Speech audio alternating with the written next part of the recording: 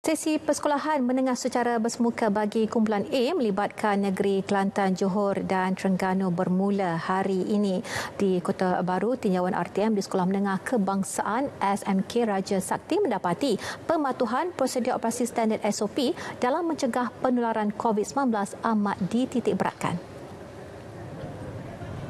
Amalan norma baharu bukan sahaja melibatkan pelajar, malah turut dipatuhi ibu bapa yang menghantar anak mereka ke sekolah. Perasaan air tu macam persedia air lah dia tu bersedia. Kau ada nak nak apa nak belajar semula kan suasana baru tiba mari hari ni pula sekolah kan. Dah lama cuti. Ha gitulah. Oh, dia memang suka dia, dia suka belajar dia tu tu. Anak tu. Malah tidur kau apa kerja sekolah. Sebelas setengah baru tidur. Semangat nak pergi sekolah dia.